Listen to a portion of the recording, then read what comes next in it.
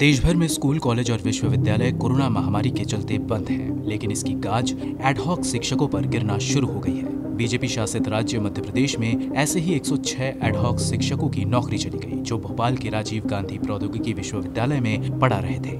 Lockdown की वजह से नौकरी गंवाने से परेशान शिक्षक सड़कों पर नहीं उतर सकते लेकिन अपना विरोध दर्ज करा रहे हैं। एडहॉक शिक्षकों का दावा है कि 20 मार्च को श्रम मंत्रालय और 15 अप्रैल को एआईसीटीई ने साफ़ तौर पर कहा था कि कोई भी संस्थान न तनख्वाह रोकेंगे और न ही कर्मचारियों को नौकरी से निकालेंगे। लेकिन इसके बावजूद आरजीपीवी के 106 एडहॉक असिस्टेंट प्रोफेसरों की नौकरी चली गई। शिक्षक अब घर बैठकर ही धरना प्रदर्शन कर रहे हैं। आरजीपीवी में लगभग भोपाल में एक इंजीनियरिंग कॉलेज पाँच यूटीडी एवं एक पॉलिटेक्निक कॉलेज है, एवं एक इंजीनियरिंग कॉलेज छेड़ो एवं एक इंजीनियरिंग कॉलेज झाबुआ में, जिसमें लगभग 140 संविदा प्राध्यापक काम करते हैं।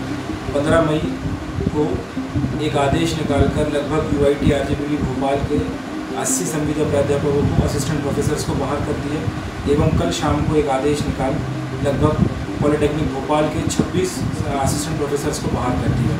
हम सब इसका ऑनलाइन विरोध कर रहे हैं एवं हम इसकी मांग भी कर रहे हैं कि जब ए ने पिछले पंद्रह अप्रैल को यह कह दिया था किसी को बाहर ना किया जाए और किसी को बाहर कर भी दिया है तो उन्हें तुरंत वापस लिया जाए। इसके चलते हम एक मुहिम चला रहे हैं जिसमें हम अपने वापसी की मांग कर रहे हैं एवं जो हमारे साथी बचे हैं उनको बाहर ना निकाला जाए। इसकी भी बात है। आर में ऑनलाइन क्लासेस चल रही हैं। निकाले गए शिक्षकों ने कहा कि इसका असर छात्रों के भविष्य पर भी पड़ना तय है। कई विभागों में अभी भी ऑनलाइन क्लासेस चल रही हैं। उन्हें व्हाट्सएप के थ्रू और विभिन्न ऑनलाइन प्लेटफॉर्मों के थ्रू उनको सहयोग किया जा रहा है। कुछ डिपार्टमेंट में मिडसम भी चालू हैं। हम लोग सेशनल और प्रैक्टिकल की फाइलें भी बनवा रहे हैं बच्चों से और ये काम कर रहे हैं। और इन काम के बीच में हमें हमारी नौकरी से निकाल दिया गया तो कहीं ना कहीं ये छात्रों के भविष्य से भी खिलवाड़ है। हमारे साथ ऐसा व्यवहार हो रहा है। हमारे आर जी प्रशासन ने हमें नौकरी से बाहर निकाल दिया है।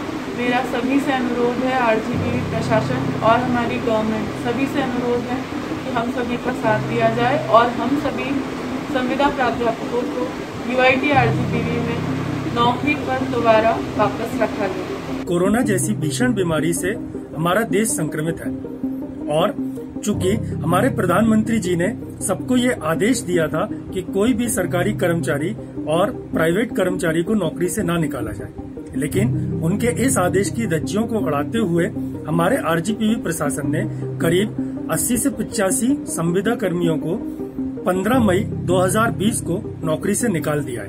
अब हम ट्विटर और फेसबुक पे एक कैंपेन चला के आप लोगों से सहयोग सहयोग चाहते हैं कि आप हमारी सहायता करें और आरजीपीवी प्रशासन को हम ये विनम्र अनुरोध करना चाहते हैं कि वो हमें नौकरी पे फिर से रखे। मध्य प्रदेश में आरजीपीवी में तकरीबन 140 एडहॉक शिक्षक हैं, जिनमें से 106 की नौकरी जा चुकी है। माना जा रहा है कि बाकी शिक्षक भी जल्द ही नौकरी से बाहर कर दिए जाएँगे।